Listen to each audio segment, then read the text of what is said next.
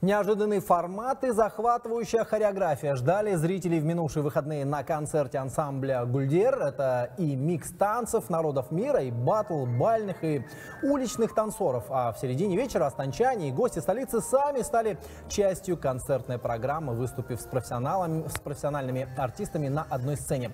По словам организаторов, идея концерта под названием «Experience» — это погружение зрителей в мир смелых творческих решений. В организации концерта приняли участие известные известные музыканты, пианисты и композиторы.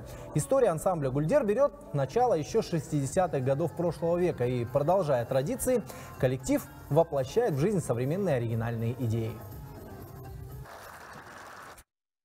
Наш концерт называется Experience. Это вот э, какие-то новые для нас э, открытия, можно сказать, исследования для нас самих же, э, чтобы мы с каждым концертом становились на уровень выше. У нас есть и казахские народные, э, также есть неоклассика, современные. А, также у нас есть очень необычный номер, где я и мой коллега Нарсоле Тамре а, были хореографами.